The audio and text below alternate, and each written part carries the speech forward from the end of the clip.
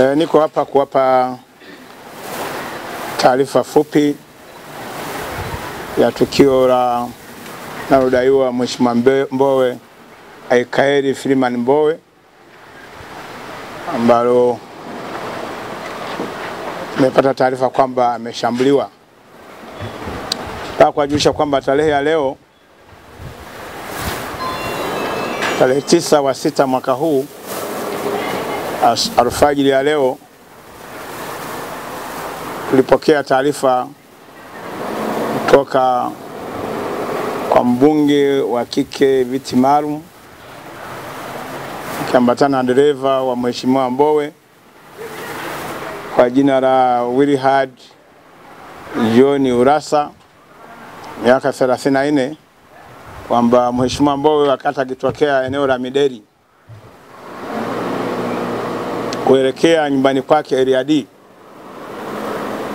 baada ya kufika nyumbani na kushushwa na dereva, wakati anapandisha kwenye ngazi kuelekea eh, kwenye nyumba yake, anadaiwa alikutana na watu watatu waliokuwa wamevaa jacket,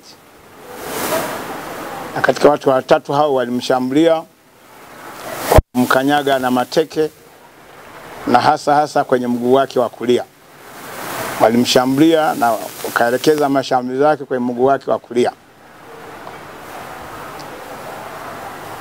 Kutokana na taarifa hizo,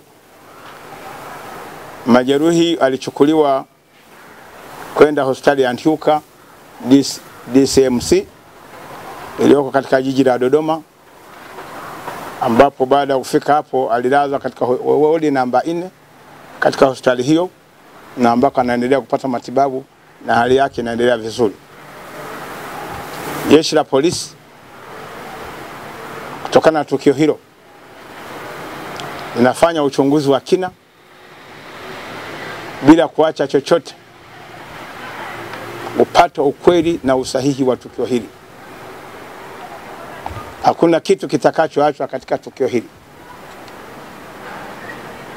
Ndugu wangu waandishi wa habari, nachotaka kusema tukio hili ni tukio kama matukio mengine na linachunguzwa na vyombo na jeshi la polisi. Kwa tukio hili pia lisitumike vibaya, lisitumiwe kisiasa au kwa njia nyingine yote ya kujiongezea umaarufu kwa kundi lolote, watu au mtu. Na wakati tukio hili linachunguzwa, ni marufuku kuingilia uchunguzi wa jeshi la polisi wakati nafanya uchunguzi. Eneo lile lina walinzi, lina majirani, tutapata maelezo yao kujua ukweli wa tukio lenyewe.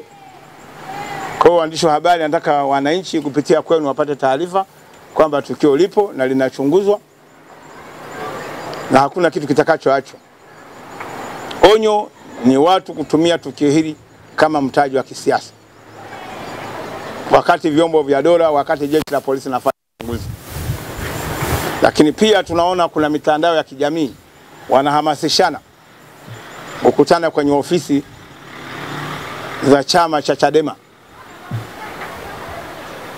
wanahamasishana kukutana kwenye chama cha Chadema, kama ni nchini, kama ni mkoa wa Dodoma. Jeshi la polisi liko macho na yoyote atakayekiuka sheria kwa mikusanyiko isiyo haramu kwa uchochezi kwa njia ya maandishi ambao hauzingatii sheria atashughulikiwa. Tutamshughulikia kikweli kweli. Kwa hiyo ndio na rai yangu ni hiyo, jeshi la polisi lipewe nafasi yake ya kuchunguza. Kwa hiyo ndugu waandishi wa habari, naomba mpeleke taarifa hii kama ilivyo, kwamba ni tukio linalochunguzwa kama matukio mengine, na kadri tutakavyosonga mbele tutapeana taarifa la tukio hili. Nawashukuruni sana.